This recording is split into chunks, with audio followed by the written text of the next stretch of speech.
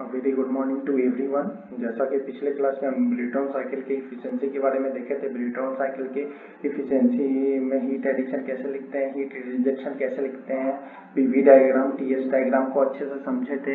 दोनों को कनेक्ट करके अच्छे से समझे थे कि पीवी पीवी डायग्राम में और टीएस डायग्राम में पीवी डायग्राम से टीएस डायग्राम को कैसे प्लॉट करेंगे। इंट्रॉपिक अब कांस्टेंट होगा। हीट एडिशन कांस्टेंट प्रेशर पे हो रहा है हीट रिजेक्शन कांस्टेंट प्रेशर पे हो रहा है और एक्सपेंशन प्रोसेस आपका आइसेंट्रोपिक हो रहा है कंप्रेशन प्रोसेस आइसेंट्रोपिक हो रहा है और इसके एफिशिएंसी को भी हम लोग डिराइव किए थे। आई थिंक आप लोग वीडियो को काफ़ी अच्छे से देखे होंगे ब्रिटन साइकिल की एफिशिएंसी को और हर पॉइंट को क्लियरली अंडरस्टैंड किए होंगे। तो आज के सेशन में हम लोग पढ़ेंगे conceptual numerical and competitive exam में जो कुछ क्वेश्चन आए बेस्ड ऑन ब्रिटन साइकिल चलिए मूव ऑन करते हैं। जैसे एक क्वेश्चन मैं लिया हूँ काफ़ी अच्छे अच्छे एग्ज़ाम में इस, तरह का क्वेश्चन पूछा जाता है। ये ये कन्वेंशनल क्वेश्चन है जिसमें बहुत सारा ऑब्जेक्टिव टाइप का क्वेश्चन इसमें फॉर्म होगा। इसमें बहुत सारे कंसेप्ट का यूज़ होगा। चलिए इसको बहुत अच्छे से अंडरस्टैंड करते हैं, बहुत अच्छे से इसको समझते हैं। सबसे पहले क्वेश्चन को पढ़ते हैं। बोल रहा है in a Brayton cycle based on power plant the air at inlet inlet का एयर का कंडीशन दिया हुआ 27 degree centigrade and 0.1 MPa pressure दिया हुआ है। फिर उसके बाद दिया हुआ the pressure ratio pressure ratio is 6.25 दिया हुआ है। And the maximum temperature maximum temperature 800 degree centigrade दिया हुआ है।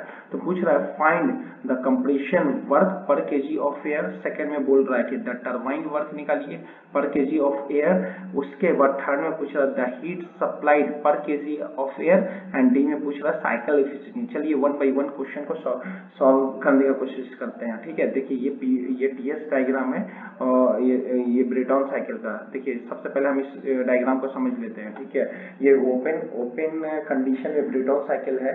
इस केस में हम पीवी डायग्राम और टीएस डायग्राम को प्लॉट किए हैं। तो वन से टू वन से टू क्या है? आइसेंट्रोपिक कंप्रेशन है।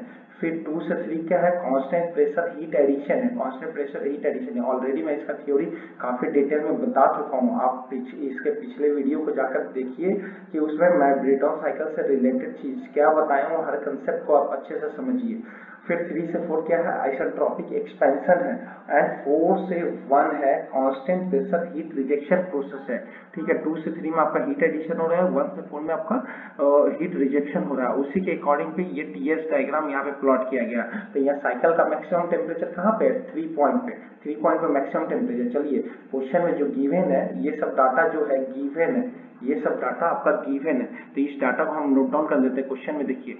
ये ये, वो क्या बोल रहा है कि the air at inlet is 27 degree centigrade and 0.1 MPa मतलब एयर का जो इनलेट हो रहा है यहाँ पे, इस पॉइंट का कंडीशन आपको दे रहा है। वन पॉइंट का कंडीशन दे रहा है। वन पॉइंट का कंडीशन मतलब T one is equal to twenty seven degree centigrade है। इसको केल्विन में चेंज करने के लिए 273 इसमें ऐड कर दीजिए। तो ये आपका केल्विन में चेंज हो जाएगा। उसके बाद ये आपका यहाँ प्रेशर दिया हुआ, प्रेशर क्या दिया हुआ? Zero point one MPa pressure दिया हुआ है। तो मैं आपको बताया था one one MPa one MPa is equal to one one newton one newton per m m m m square ठीक है?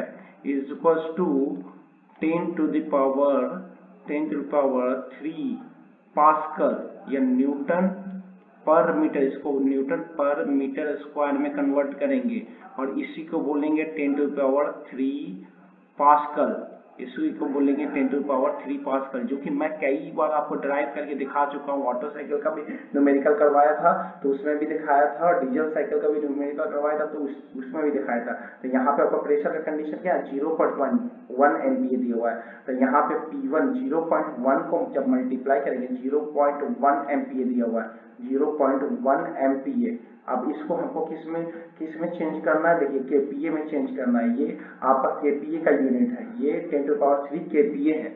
ये केपीए में यूनिट है। तो आप इसको क्या करेंगे? टेन टू पावर थ्री से मल्टीप्लाई कीजिएगा तो हंड्रेड केपीए आपका आ जाएगा, जो कि वैल्यू यहाँ पे रिटेन है, जो कि वैल्यू यहाँ पे रिटेन है। ये वाला वैल्यू यहाँ पे रिटेन है। ठीक है? तो यहाँ पे आपका P1 प्रेशर पता चल गया। फिर RP RP मतलब प्रेशर रेशियो दिया देखिए क्वेश्चन में क्या बोल रहा है? The pressure ratio is 6.25 pressure ratio बोले तो देखिए प्रेशर रेशियो इसमें देखिए प्रेशर रेशियो जो है, ये P2 बाई P1 है। P2 बाई P1 का वैल्यू दिया हुआ है। P2 बाई P1 का वैल्यू दिया हुआ है। यही आपका RP है, जिसको हम लोग प्रेशर रेशियो बोल रहे हैं। ठीक है? तो यहाँ पे हम लिख दिए प्रेशर रेशियो ये आपका किसका वैल्यू है? P2 P2 divided by P1 का वैल्यू है, ठीक है? उसके बाद आपका बोल रहा है the maximum temperature maximum temperature 800 degree centigrade है। तो हम देखिए मैक्सिमम टेम्परेचर 3 पॉइंट पे होगा। तो 3 पॉइंट पे T3 is equal to 800 degree centigrade किए। इसमें आप क्या कीजिए? 273 फिर से ऐड कर दीजिए। 273 ऐड कर दीजिए। तो ये आपका केल्विन में कन्वर्ट हो जाएगा। तो आई थिंक आप ये कन्वर्सन समझ गए होंगे यूनिट का कन्वर्सन मैं कैसे किया हूँ अच्छे से। चलिए आगे मूव ऑन करते हैं। ये देखिए, इस केस में क्या हो इस इस केस में मैं ये चीज़ को ऑलरेडी मैं आपको डिटेल में डिस्कस कर चुका हूँ तो यहाँ पे मैं ज़्यादा डिस्कस नहीं करूँगा। सिर्फ़ आप इतना जान लीजिए कि कंप्रेसर को कंप्रेसर को चलाने के लिए वर्क इनपुट देना पड़ेगा। तो देखिए टरबाइन का जो साफ्ट है टरबाइन के साफ्ट से कंप्रेसर को कनेक्ट करके रखें। मतलब टरबाइन से जो वर्क आउटपुट हमको मिलेगा, उसका कुछ कुछ जो वर्क मिलेगा हमको यहाँ से, उसका कुछ पार्ट हम कंप्रेसर को प्रोवाइड कर देंगे ताकि कंप्रेसर का मोटर रन कर सके कंप्रेसर स्मूथली रन कर सके। मतलब इस केस में कंप्रेसर को चलाने के लिए आपको क्या करना पड़ेगा? वर्क इनपुट देना पड़ेगा। यहाँ से वर्क इनपुट देना पड़ेगा। और टरबाइन आपका वर्क आउटपुट देगा। ये वर्क आउटपुट देगा। तो चलिए आगे मूव करते हैं क्वेश्चन में। ठीक है? तो सबसे पहले वो प्रोसेस वन टू के बारे में चलते हैं। तो वन से टू प्रोसेस कौन सा है? देखिए वन से टू प्रोसेस कौन सा है? आइसनट्रॉपिक प्रोसेस है। ये देखिए वन से टू वन से टू वन से टू आइसनट्रॉपिक प्रोसेस है तो इसके लिए हम लिखेंगे T two by T one is equal to R P का पावर मतलब T two by T one is equal to ये होगा T two by T one is equal to P two by P one का power gamma minus one T two by T one is equal to P two by P one P one P two by P one का power P two by P one का power gamma minus gamma minus one upon gamma और यही P two by P one ही तो आपका है, pressure ratio मैं already आपको बताया, देखिए ये P two by P one ही तो आरपी है। ये पी टू बाई पी ही तो आरपी आता है आइसोट्रॉपिक के लिए हम लोग ये क्वेश्चन ऑलरेडी जानते हैं। तो इसीलिए मैं T two by T one is to RP का power gamma minus one upon gamma लिख दिया हूँ। जाकि जो कि यहाँ पे गामा का आपका आरपी का वैल्यू कितना दिया हुआ? सिक्स पॉइंट टू फाइव दिया हुआ है। Six point two five RP का कोई यूनिट नहीं हुआ, क्योंकि ये एक रेशियो है। तो यहाँ पे देखिए सिक्स पॉइंट दे दिया हूँ और यहाँ पे गामा का वैल्यू गामा क्या है? यहाँ पे एयर एयर यूज़ कर रहे हैं। तो गामा का वैल्यू यहाँ पे 1.4 हम एज्यूम कर लेंगे। कि air as a diatomic gas के लिए गामा का वैल्यू 1.4 तो यहाँ पे 1.4 हो गया तो यहाँ से वैल्यू को निकालेंगे तो 1.689 आएगा, यहाँ से फिर T1 का वैल्यू मेरा गिवन है, देखिए T1 का वैल्यू यहाँ पे गिवन है T1 आपको यहाँ पे गिवन है 300 डिग्री सेंटीग्रेड तो T1 का वैल्यू आप यहाँ पे पुट कीजिए पुट करेंगे तो आपका इतना T2 निकल जाएगा। तो अब देखिए कंप्रेसर का हमको वर्क इनपुट निकालना है। तो कंप्रेसर का वर्क इनपुट निकालने के लिए हम क्या करेंगे? देखिए कंप्रेसर का यहाँ कंप्रेसर का work input is to CP delta T मैं ऑलरेडी आपको बता दिया हूँ कि सीपी डेल्टा टी कैसे लिखेंगे वर्क बराबर। आप लोग को ये सब चीज़ फ़र्स्ट लॉ से कनेक्ट करके मैं ऑलरेडी बता दिया हूँ। तो मैं बार बार एक ही चीज़ों को डिस्कस नहीं करूँगा। अगर आपको ये जानना है कि ये चीज़ कैसा लिख रहा हूँ मैं तो आप प्रीवियस वीडियो को अच्छे से देखिए हर कंसेप्ट को समझिए। तो देखिए एयर के लिए सीपी का वैल्यू जो होता है एयर के लिए सीपी का वैल्यू होता है one point zero zero five ये वैल्यू को आप याद रखिए, kilo joule per kg kelvin. Kelvin ठीक है? तो ये एयर का वैल्यू तो यहाँ पे एयर सीपी का वैल्यू पुट कर दिए टी टू का वैल्यू हमको पता है, और टी वन वैल्यू हम यहाँ ऑलरेडी गिवन है। टी वन वैल्यू देखिए यहाँ गिवन है। तो ये वैल्यू पुट करेंगे आप यहाँ से तब कंप्रेसर का वर्क आ, आ, वर्क इनपुट निकल जाएगा। मतलब इतना इतना वर्क आपको चाहिए इतना वर्क आपको चाहिए कंप्रेसर को चलाने के लिए इतना वर्क आपको देना पड़ेगा कंप्रेसर को चलाने के लिए। तो वही बोल रहा है कि the compressor work per unit per unit kg of air is इतना हो जाएगा। उसके बाद नेक्स्ट क्वेश्चन की तरफ़ मूव ऑन करते हैं। थ्री से फोर प्रोसेस आपका क्या है? थ्री से फोर आपका आइसेंट्रोपिक प्रोसेस है। मतलब थ्री से फोर प्रोसेस देखिए, यहाँ थ्री से फोर आपका क्या है? आइसेंट्रोपिक मतलब इंट्रॉपी आपका कांस्टेंट है। तो इस केस में इंट्रोपी कांस्टेंट है तो उस केस में हम क्या करेंगे? फिर से हम इंट्रोपी कांस्टेंट है तो वहाँ से फिर से लगाएँगे इंट्रोपी का जो आइसेंट्रोपिक के लिए जो इक्वेशन होता है, फिर T three upon T three upon T four T three upon T four is equal to P three upon P three upon P three upon P four का पावर ये होगा gamma minus one upon gamma gamma minus one upon gamma होगा, ठीक है? आप देखिए यहाँ P three और पी फोर तो पी थ्री देखिए डायग्राम में देखिए। P three is equal to P three is equal to क्या है? P three is equal to P two है। P three is equal to P two है और P four is equal to P one है। P four is equal to P one है। यहाँ पे। तो आप क्या कीजिए P3 के जगह पे P2 पुट कर दिए P4 के जगह पे P1 पुट कर दिए। क्योंकि ये देखिए, ये कांस्टेंट प्रेशर प्रोसेस है, ये वाला कांस्टेंट प्रेशर प्रोसेस है, और ये भी आपका कांस्टेंट प्रेशर प्रोसेस है। मैं आपको समझा रहा हूँ बार बार आपको अच्छे से समझ आ रहा होगा आई थिंक ठीक है, आप बार बार समझने का, अच्छे से समझिए चीज़ों को। तो यहाँ पे मैं क्या किया, यहाँ पे P3 के जगह पे P3 के जगह पे फिर से मैं पुट कर दूँगा क्या? P3 के जगह पे P3 के जगह पे P2 पुट कर दूँगा। और P4 के जगह पे P1 पुट कर दूँगा।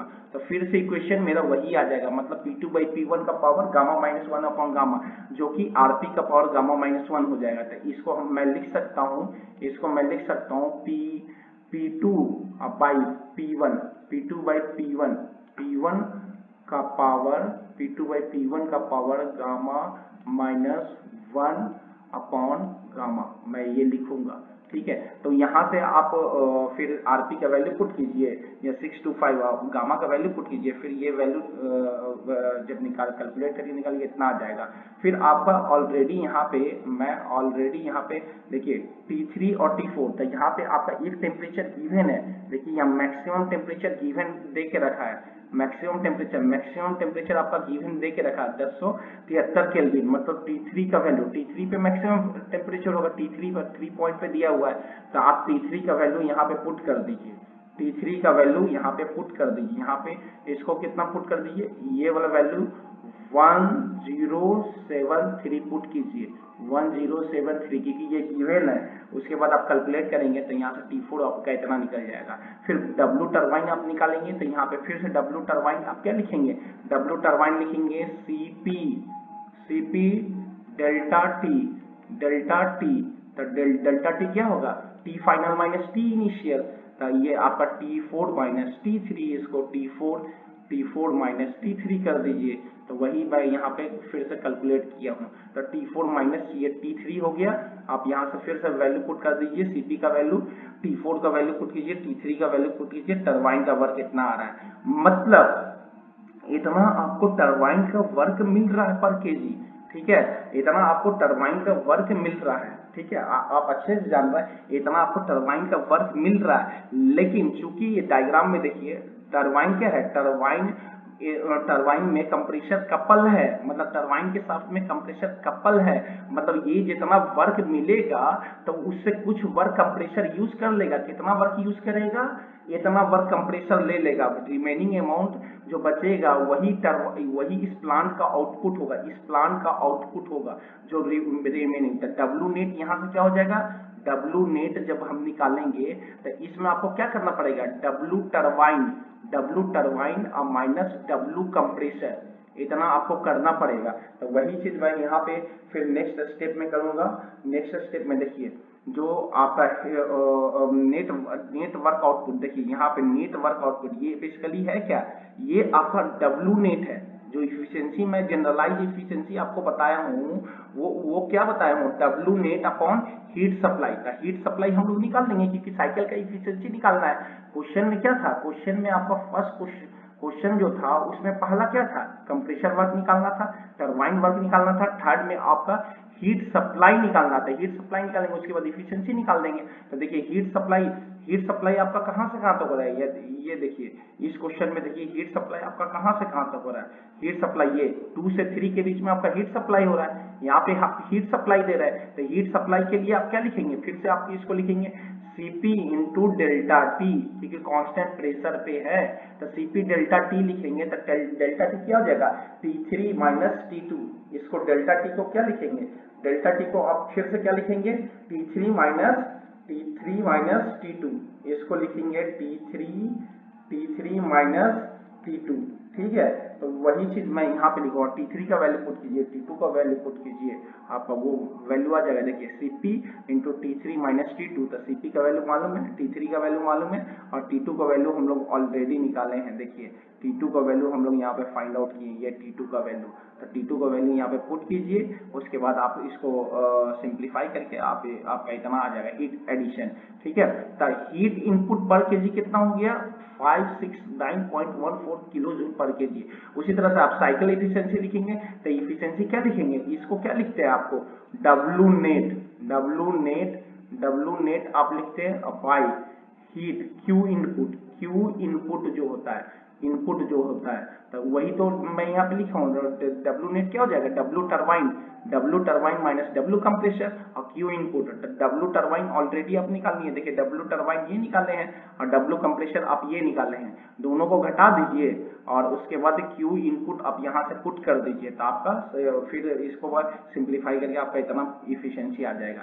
चलिए आई थिंक आप इसको अच्छे से समझ गए होंगे। इसको अच्छे से समझ गए तो चलिए, कुछ कंपिटेटिव को एग्ज़ाम में कुछ क्वेश्चन आते हैं तो कुछ टाइप के भी क्वेश्चन आते हैं ऑब्जेक्टिव क्वेश्चन मैं ऑलरेडी जो ये क्वेश्चन को डिस्कस किया हूँ, काफ़ी कंसेप्ट इसमें भरा हुआ है, इसलिए हर पॉइंट को अच्छे से अंडरस्टैंड कीजिए, हर पॉइंट को माइन्यूटली अंडरस्टैंड कीजिए और इसको है ना कन्वेंशनली रूप से एक बार समझ कर फिर से बनाने का कोशिश कीजिए। फिर भी समझ नहीं आए तो हर कंसेप्ट को रिवाइंड कीजिए और समझकर उस क्वेश्चन को अच्छे से सॉल्व सॉल्व करिए। क्योंकि इससे है ना, इसके बीच से बहुत सारे ऐसे क्वेश्चन आएँगे जो कि कम्पिटेटिव एग्ज़ाम में आस्क किया जाता है। तो आपको उस पॉइंट ऑफ़ व्यू से पढ़ना है, उस पॉइंट ऑफ़ व्यू से आपको समझना है। तो आई होप आप इस क्वेश्चन को अच्छे से समझेंगे चलिए कुछ क्वेश्चन एक दो क्वेश्चन देखते हैं, जो कंपिटेटिव एग्ज़ाम में पूछे जाते हैं, ठीक है?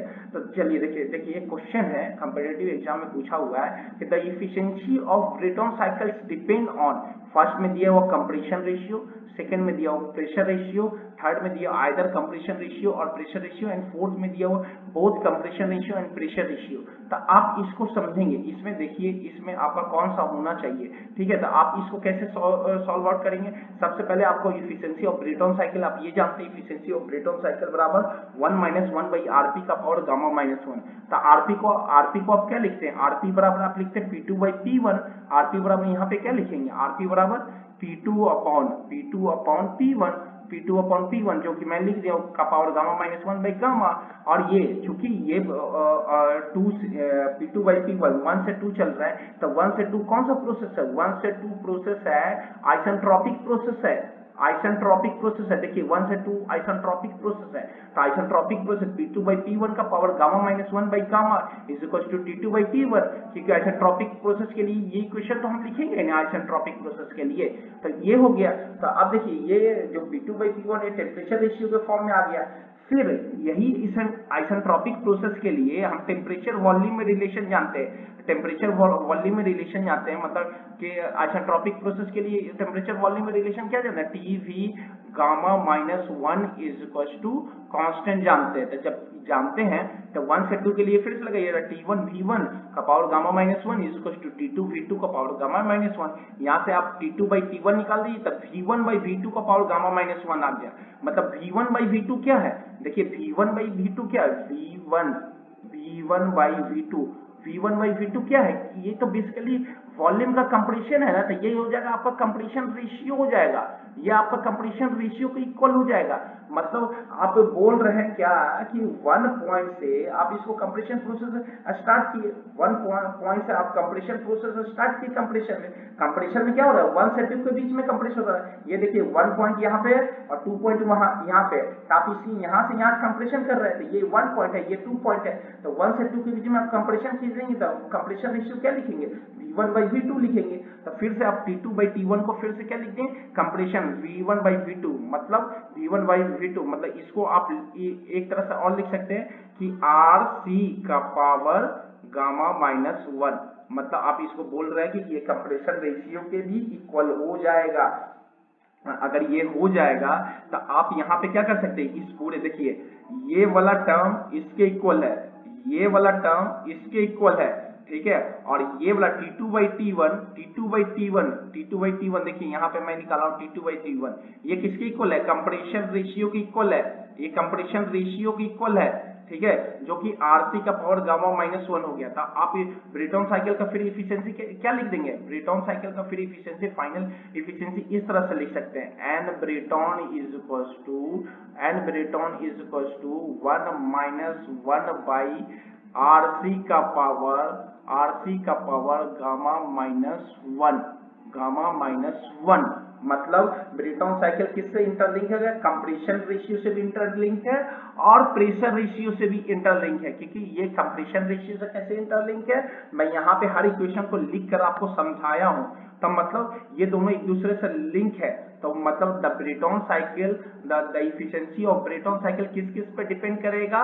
Both on the compression ratio and pressure ratio मतलब ये वाला आप, आपका ऑप्शन सही हो जाएगा। ठीक है? मतलब ऑप्शन नंबर डी आपका इसका राइट हो जाएगा। ठीक है? ऑप्शन नंबर डी ये वाला आपका ऑप्शन नंबर डी राइट हो जाएगा। ठीक है? तो ये कैसे होगा? क्योंकि मैं यहाँ पे आपको लिख कर दिखाया हूँ। यहाँ पे मैं आपको करके दिखाया हूँ। यहाँ पे आपको अच्छे से चीज़ों को मैं करके दिखाया हूँ। ठीक है? तो आई थिंक आप इस क्वेश्चन को अच्छे से समझ गए होंगे। चलिए नेक्स्ट क्वेश्चन की तरफ़ मूव करते हैं। देखिए, इस क्वेश्चन को करने के लिए आपको कितना सारा कंसेप्ट का यूज़ करना पड़ा।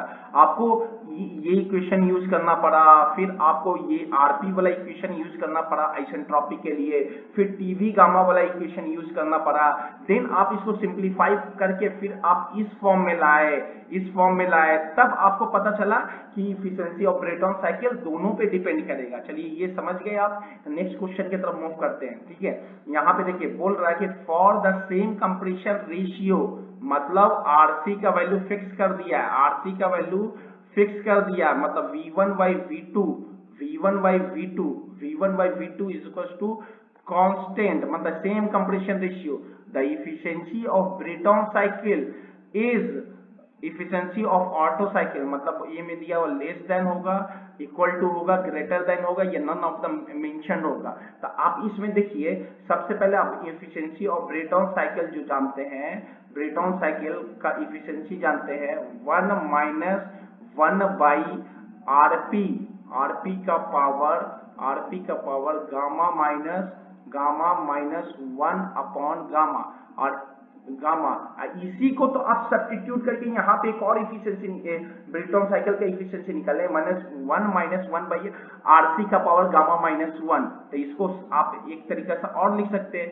One minus one by RC RC मतलब compressor gamma minus one upon gamma ये। और उसी तरह से इफिशियंसी ऑफ़ ऑटो साइकिल आप क्या जानते हैं? Efficiency of Otto cycle efficiency of Otto cycle आप क्या जानते हैं? इफिशियंसी देखिए इफिशियंसी ऑफ़ ऑटो साइकिल मैं लिख कर दिखा रहा हूँ आपको। Efficiency of Otto cycle Otto cycle का भी आप क्या जानते हैं? One minus one by R C का power gamma minus one upon gamma. तो यहाँ देखिए, ये दोनों टर्म, ये वाला टर्म और ये वाला टर्म दोनों इक्वल हो गया। मतलब अगर आप कंप्रेशन रेशियो का वैल्यू फिक्स कर देंगे दोनों के लिए तो दोनों का इफिशियंसी इक्वल हो जाएगा। ये दोनों ये दोनों टर्म आपस में इक्वल हो जाएगा। मतलब इस केस में आपका आ जाएगा efficiency of Otto cycle is equal to efficiency of Brayton cycle देखिए, कितना इंपॉर्टेंट रिलेशन है।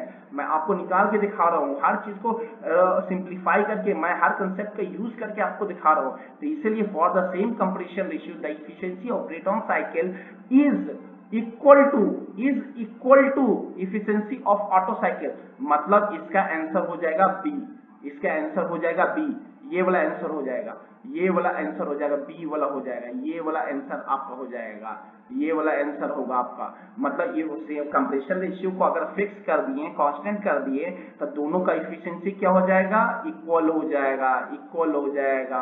तो आई थिंक आप इस चीज़ को काफ़ी अच्छे से समझे होंगे, हर कंसेप्ट को काफ़ी माइन्यूटली समझे होंगे। देखिए, ये बहुत बहुत अच्छे अच्छे कम्पिटेटिव एग्ज़ाम में इस तरह का क्वेश्चन होता है। जो हाई लेवल का एग्ज़ाम होता है ना, उसमें इस तरह क्वेश्चन हैं। कितना कंसेप्चुअल क्वेश्चन है? आप हर कंसेप्ट को अच्छे से समझेंगे, तब इस तरह का क्वेश्चन को आप कर पाएँगे। सिंपल क्वेश्चन तो हर कोई कर लेता है, लेकिन कंसेप्चुअल क्वेश्चन हर कोई नहीं कर, करता है। इसीलिए मैं बार बार बोलता हूँ कि आप हर कुछ कंसेप्ट को अच्छे से समझिए, हर कंसेप्ट को काफ़ी डीपली समझिए और हर पॉइंट को बढ़िया तरीके से अंडरस्टैंड कीजिए। तभी आप हर बढ़िया से बढ़िया सवाल को कर पाओगे। ठीक है? आई होप आप लोगों को हर पॉइंट अच्छे से समझ में आया होगा। वीडियो को स्टार्ट से लेके अंत तक समझिए। हर पॉइंट को अच्छे से अंडरस्टैंड करें। हर कंसेप्ट को अच्छे से अंडरस्टैंड करें। वीडियो को लाइक शेयर सब्सक्राइब करना ना भूलें। तब तक के लिए thank you thank you so much